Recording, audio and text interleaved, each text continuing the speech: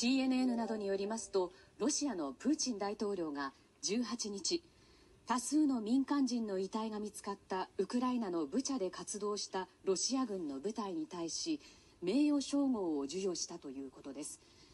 プーチン大統領はこの部隊について偉大な英雄的行動と勇気を祝福し特別軍事作戦の手本となるような存在だとして称えています。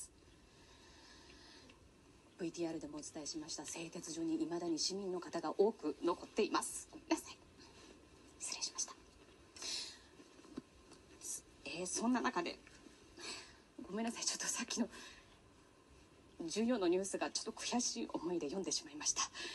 えー、すいません。冷静さを保ちます。ウクライナ東部での戦闘が新たな局面に入ったと言います。ここからは安全保障軍事戦略がご専門の防衛研究所高橋杉雄さんに解説をいただきます。よろしくお願いいたします。よろしくお願いします。